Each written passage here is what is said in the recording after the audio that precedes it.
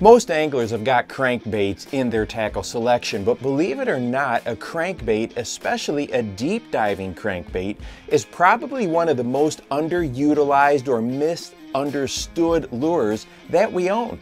The first problem that often happens with a crankbait is we don't throw it past our intended target to make sure we take into account that dive plane. Now, if you're using square bills and pitching them to very visible cover like a laydown, that's a different situation. But if you're using deep divers and working a point, working ledges, really throwing it more in that open water type of a situation, we've really got to take into consideration how long it takes that lure to get down to depth. So we want to throw way past the target. The amount of time that that lure is actually in the zone and working for us isn't as much as we think that it is. The next thing that we really need to make sure that we do is keep that lure digging and deflecting as often as we can. I know when I first started crankbait fishing, I was nervous to get that lure to the bottom.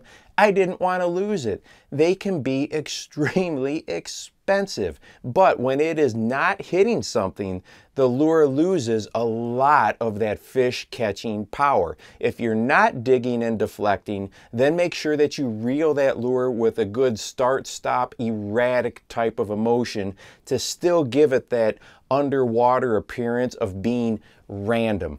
That is why crankbait manufacturers offer a series of lures so anglers can adjust as needed. And the next thing that we really need to consider with crankbait fishing is body design. I remember one time on Table Rock Lake that I was in the front of the boat, my co-angler was in the back. I was getting zero bites on a deep diver and he was throwing a different deep diver to the exact same spot and absolutely getting hammered. Well, I took the time to switch lures and put on a lure that has a different wobble to it, and all of a sudden I caught a limit very quickly. Who knows why on a particular day that the bass wants one style of, of deep diver over another one, but if you're not getting bit, take the time to change, to put on one from a different manufacturer, one that's got a different body design to it. That vibration signature and wobble can make a huge difference from day to day or sometimes within the same day. The next one is we have to trust that the design of a crankbait is going to keep it snag free. When I first started fishing deep divers, I never threw them as deep as I needed to, and I would always avoid anything that might get them stuck. They cost a lot of money.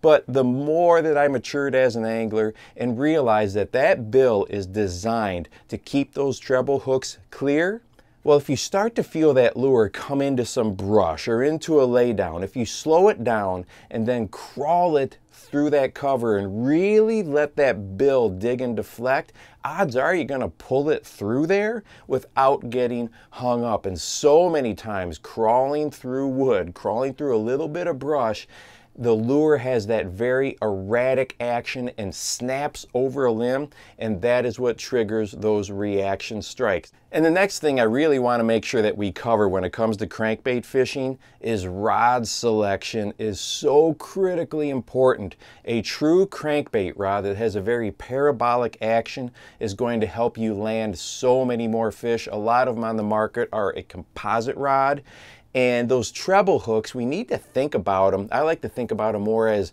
a grabbing hook as opposed to a penetrating hook like a single hook lure or something like a jig and it is easy as an angler to rip that crankbait right out of the mouth of the fish. Well, a good crankbait rod is going to keep that flex and that give and take needed to land those bass, especially bigger bass. And as far as your drag system goes, make sure you back it off a little bit when it comes to crankbait fishing. I have learned some hard lessons by losing fish over the years because I've had my drag on my crankbait reels too tight. When that fish would dive and run, they would just pull right off. And one of the best things that a crankbait does is find bass. And if you want to watch a video that talks about finding that spot within the spot, that's so critical to adding numbers to your catch, go ahead and check this one out right here. And make sure that you go out and encourage someone today. You never know how you might just change their life. For the Bass Fishing Life, I'm your host, Steve Rogers.